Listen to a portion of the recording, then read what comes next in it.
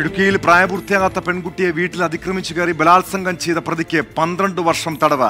വാഴത്തോപ്പ് സ്വദേശി ജിൻഡോയെയാണ് Idukki fast track special കോടതി ശിക്ഷിച്ചത്. പെൺകുട്ടിയുടെ വീടിന് സമീപം റോഡ് പണിക്ക് ഹിറ്റാച്ചി ഓപ്പറേറ്ററായി എത്തിയപ്പോഴാണ് ജിൻഡോ അതിക്രമം കാട്ടിയത്.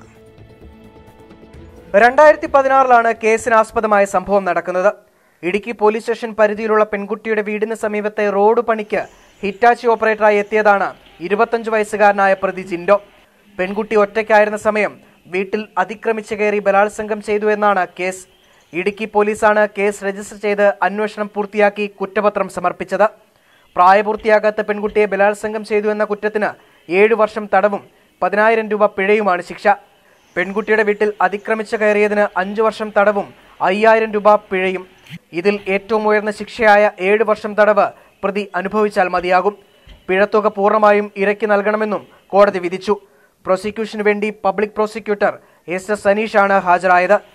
ട്വന്റി ഇടുക്കി.